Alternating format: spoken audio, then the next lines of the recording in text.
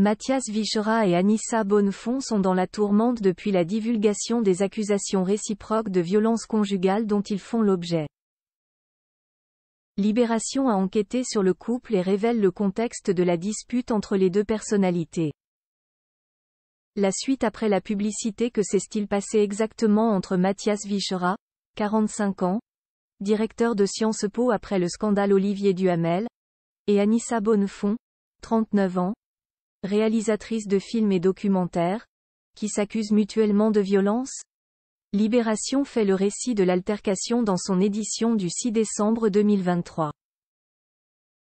Haut fonctionnaire et père de deux enfants, dont un avec son ex-mari Drucker, Mathias Vichera a pris la tête de la célèbre école après l'affaire Olivier Duhamel, accusé d'inceste, qui a entraîné la démission en 2021 de Frédéric Mion.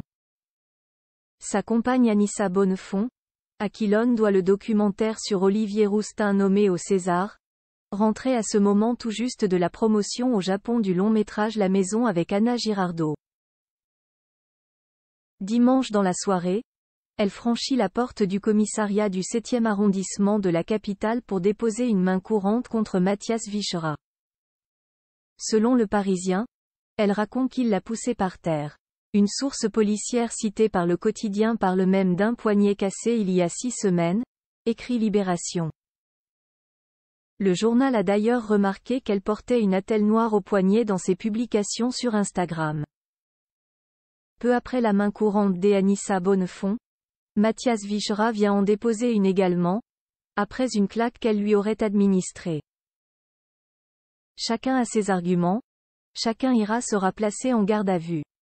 Elle sera levée lundi 4 décembre après-midi, sans plainte d'un côté comme de l'autre. Selon le parquet de Paris, l'enquête se poursuit. Celle de Libération fait état, selon une source de son entourage proche, d'une séparation difficile. Elle m'a dit il y a 15 jours qu'elle allait le quitter. Soupçon de violence conjugale face à la lutte contre les VSS à Sciences Po Mathias Vichra a vu l'affaire prendre de l'ampleur médiatique jusque dans les bancs de Sciences Po où des étudiants appellent à sa démission, lui qui est censé lutter contre les VSS, violences sexistes et sexuelles.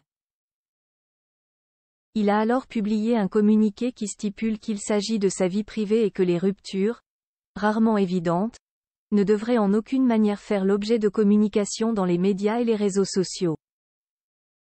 Anissa Bonnefond, contactée par Libération, a expliqué que cela relève de sa vie privée et ne regarde absolument personne.